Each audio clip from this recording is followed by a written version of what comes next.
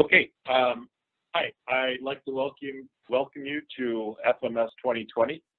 Um, I'm Kurt Lender, the co-chair of the CXL Marketing Work Group. I'm also a senior ecosystem uh, manager at Intel Corporation, and I'm here with Siamak um, Tavallaei, and we are going to introduce the CXL specification. But in the first, uh, Siamak, can you introduce yourself? Uh, thank you very much, Kurt. This is Siamak Tavallaei. I'm the co-chair of the CXL task, Technical Task Force, also a principal architect with uh, uh, Microsoft Azure. Okay, thank you. Um, so like I said, we're going to introduce the 2.0 specification at a very high level. Um, you'll see a lot more detail coming out from the marketing work group and other. Uh, we'll have a webinar actually in December. December 10th is the date now. We'll be posting a white paper on CXL uh, 2.0 specification. So again, um, this is a high level. And what I will do is, again, talk about CXL in general, some of the market um, needs and why we did CXL. And then Siamak will go into some of the details on the specification itself. Uh, so the first thing is what drove the, uh, the, need for CXL, and that's this industry landscape that you're seeing. Um, we, we see the proliferation of cloud computing today. Everything is being moved to the cloud. Companies are putting more and more of their applications out there. Um, data being analyzed um, right and left, you know, growth of AI and analytics. Um, that's, you know, so there's more need for data movement, data storage uh, in that sense. And then cloudification of the network and edge, um, they're actually moving out to the cloud too. So again, this proliferation of the cloud is just moving everywhere. Um, with this, there's some growing demands basically. Um, all these uh, needs basically are driving the demand for faster processing. So with CXL, we've latched on to the PCIe specification. Um, we're on PCI 5 today and we'll certainly, we're monitoring the 6.0 uh, evolution that, that PCIe is looking at now. Um, so we'll continue to, to drive uh, faster processing uh, both through the, the bus, CX, uh, PCIe, and then the latencies and things that CXL brings to the table. Um, the other thing that, that all these uh, that you're seeing in this environment is the need for heterogeneous processing. Um, there are different deployment models that are growing. Um, you see, obviously, uh, CPUs like from my company, Intel. You have FPGAs uh, from Intel's, from Xilinx of the world. You have custom ASICs being produced. Um, and all these are being put into the same solutions. Um, you know, they're basically competitive solutions that need to work together. Um, so this need for heterogeneous computing, the, the um, the computing really tuned to the application and optimized to the application uh, is growing. The other thing that, that the landscape is seeing is really the need for increased memory capacity and bandwidth. And again, with CXL, we have the .mem um, capability, and you'll see as Siamak talks about uh, 2.0, it's uh, the memory space is one of the areas where we definitely um, bigger usage models into the CXL 2.0 uh, specification. And then the last is with the, the growth of memory, you're seeing different memory tiers. Uh, so again, it's one of the other added things uh, for CXL 2.0 is some of the persistent memory hooks that we've put in. So um, the response to the needs was CXL itself. And like I said, it's been one year since we incorporated with one of the strongest boards, uh, board of directors uh, in the industry. Um, we have the leading cloud providers, we have leading OEMs, we have all four CPU vendors. Um, we really have the industry leaders and uh, influencers in the CXL consortium. Um, and again, we're seeing the excitement grow more and more. Uh, we're up to 130 members today. Um, and that's really um, at adopter, contributor, or promoter level. Um, we did open up the 1.1 specification. It is public. We're going to do the same for 2.0 also. Uh, the difference is adopters class get, you know, as you uh, implement, you get the IP protection rights from the CXL consortium. So we do recommend that you come in uh, at certainly adopter level, or we hope contributor level, which again, you can join. Uh, we are up to five different technical work groups. You can contribute to those work groups as a contributor and influence the 3.0 and beyond um, uh, specifications for CXL. And the last, of course, this is open. Um, I've already said it's going to be totally open. Um, but again, this is open to the industry and being driven by the industry. The other thing I'll mention on CXL 2.0 uh, is that we are going to, it will be backwards compatible with 1.1. So there is that, um, you know, reuse and uh, bringing forward of, of technology for that matter. You don't throw away previous revisions of your, your implementations. So I've already mentioned the left side here, the challenges, um, the industry need for faster processing and, and next for the next gen data centers, um, the heterogeneous computing, the increased uh, need for memory capacity and bandwidth. And really, we needed, um, at this time last year, we really didn't have um, a unified uh, specification, open specification.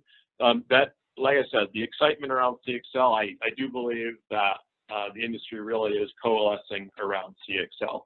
Um, CXL brings to the table and the features it brings are the three listed on the right here. It's a coherent interface that really mixes and matches through protocols. Uh, .io, um, that's really a packetized version of PCIe.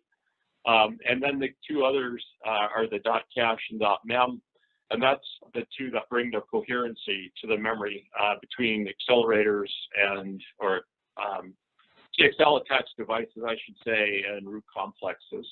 And all this is done, uh, the dot .cache and .mem are done with low latency, uh, basically designed in. And low latency, I mean like cache coherent type um, levels of, of, of, latency. So very low latency. Um, asymmetric complexity is the last feature, uh, major feature of 1.1, and that's where the burden really is put on the root complex and the endpoints can migrate from generation to generation.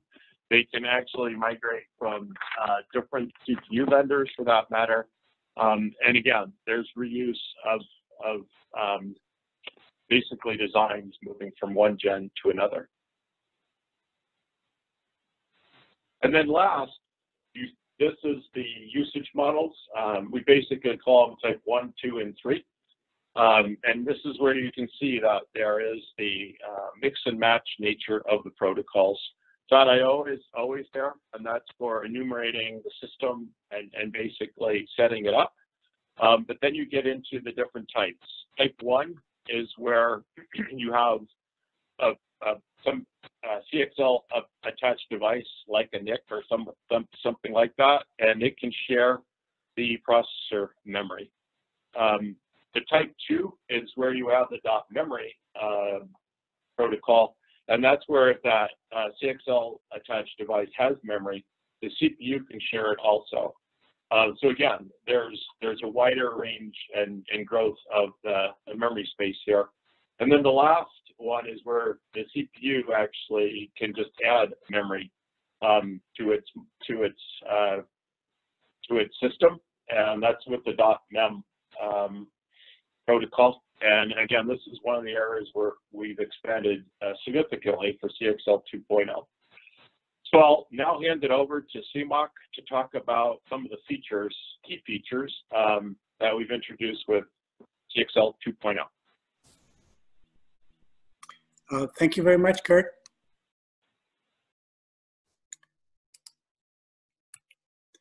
Uh, as uh, Kurt suggested, point-to-point -point devices, the processor connecting to end devices and providing um, low latency, high bandwidth interconnect for um, devices that could benefit from load store semantics. And that is on top of the CXL.io, which is very similar to PCIe for uh, moving block mode operations, DMA style. The .mem and .cache provide for low latency uh, interconnect for, uh, for caching devices or smart devices. So as Kurt suggested, Um, the physical layer running on PCIe Gen 5, providing 32 gigabits per, tran per transfer, was good enough for uh, these end-to-end devices, uh, point-to-point devices. But then people also asked for uh, fanning out so that one root port can address multiple end devices. Um, CXL 2.0 addressed that by introducing one layer of switching. So um, devices underneath each switch could still be caching devices or could be memory type devices. Uh, one layer of switching uh, still provides a very large fan out. Each host may have multiple CXL uh, links. Each uh, switch can have multiple subordinate links and therefore very many devices can be connected to one host. A second um, major feature that could be enabled using SCXL 2.0 is the fact that uh, CXL 2.0 switches can be multi-host capable by specification. Um, diagram to the left is showing a uh, CXL switch connected to multiple CPUs, multiple hosts, and multiple devices down below. In this example, uh, uh, host one connects to device two and device three and forms one major hierarchy, whereas, for example, host three is connected to device four. That capability is enabled using CXL Fabric Manager that runs in conjunction with the CXL 2.0 switch. That is in CXL Fabric Manager is in charge of assigning hosts to devices, to end devices. An enhanced version of this, or a more capable version of that, is when the end device itself is uh, capable of subdividing itself into multiple logic devices. So an MLD device, multi-logic device, can uh, be programmed to um, be bound to multiple hosts. Up to 16 hosts are supported within the CXL 2.0 uh, switches. The switch itself can be connected to more than 16 hosts, but each device can, can be connected to up to 16 hosts. In this example, uh, hierarchy one, host one, uh, is comprised, uh, comprising host one, device one, uh, a portion of device two, and a portion of device four, whereas uh, host three in a different hierarchy is using a portion of device two, a portion of device three, a portion of device four, and portion of device n in this example. Uh, as, as we described, CXL provides a low latency, high bandwidth uh, transport to devices such as DRAM um, and to device to uh, device, devices that are of higher latency, such as storage devices. The piece that we added also with CXL 2.0 was specific uh, support for persistent memory the type of memory that could look like a storage element, but would like to live with uh, load store semantics at much smaller latency. Uh, for example, in tens or hundreds of nanosecond instead of microseconds.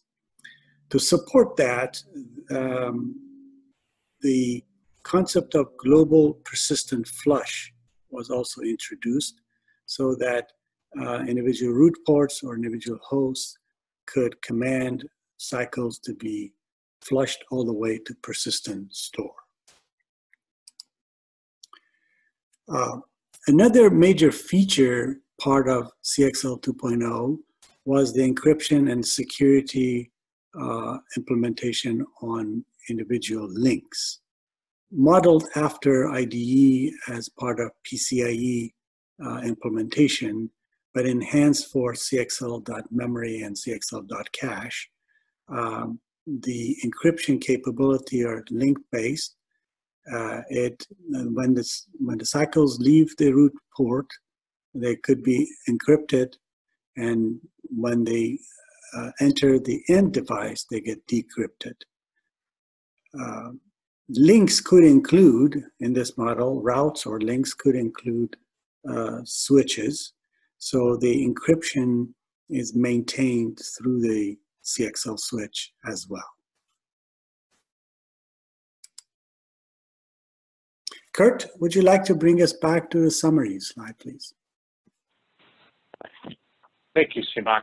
Um, so again, a quick, quick, quick summary of 2.0. Um, so again, I want to highlight CXL Consortium. The momentum is growing. Um, we've been at this now for a year, and we're now at 130 members and growing. So come join us. Um, we're on the second generation of the specification, and I know that the technical task forces or the work groups are starting to work on the next generation spec. So again, I've mentioned uh, contributors get that opportunity. Um, you're not too late. Uh, you can join us, join us now, and help contribute to that. And again, CXL really is we're looking at responding to um, industry needs. So that's another spot where I know there's a lot of discussions going on in the sense of where should CXL continue to go. Um, the middle column here, CXL added things like switching. Um, we needed more, uh, we wanted to grow the system size, so the expansion uh, phenomena of switching, plus the pooling, where you could create these pools of resources, um, Mary being one of them uh, that, that you could tap into. Persistent memory support, um, that again gives you that tiering inside memory um, and is something that was requested by the industry. Uh, certainly in Flash Memory Summit, there's a lot of folks doing that, doing those type of devices um, in this show. And then security uh, was certainly a key feature that will be continued to, to augment. All this, we are backwards compatible with uh, the current rev CXL 1.1 and, and 1.0. Um, that will continue. That is one of the base legs of CXL. Um, we'll continue that moving forward. And then the last one that we really didn't talk about here is um, there is a chapter in the 2.0 specification on compliance and interoperability. That work group is going to roll out their program fairly shortly in either the latter part of Q4 or Q1. So we don't have that announcement in here, but that will be one of the things to look for uh, moving forward. And then the call to action really is, as I've said, join the uh, CXL consortium. Adopter is the lowest level, gives you the IP rights. Um, but again, contributors and promoters certainly uh, can join the work groups and contribute uh, in that sense. This is a public specification, so if you're interested in, in looking at it first, go out on the website and, and grab it in that sense. Excuse me. There will also be, uh, there is a white paper actually posted by this time. Uh, it's one of the funny things about being virtual is we're doing this in advance, but all this will be posted by the time that we actually do this presentation. Uh, and then I've also mentioned that we're starting our webinar series on 2.0 on December 10th. Um, that is that will be a high level overview, a little more deep, uh, a little more depth than this overview. Um, but we'll probably do in Q1, we'll go into even more detail on some of these features for that matter. So continue to follow us um, and look for for that. Follow us on Twitter and LinkedIn. Um, we're also have we're doing regular blogs. So again, there are more than enough ways. Um, go through the website to monitor the uh, movement of CXL and, and the excitement coming in the future. So with that, I will say thank you and we will have a quick Q&A time frame to answer any questions. So thanks and have a good FMS.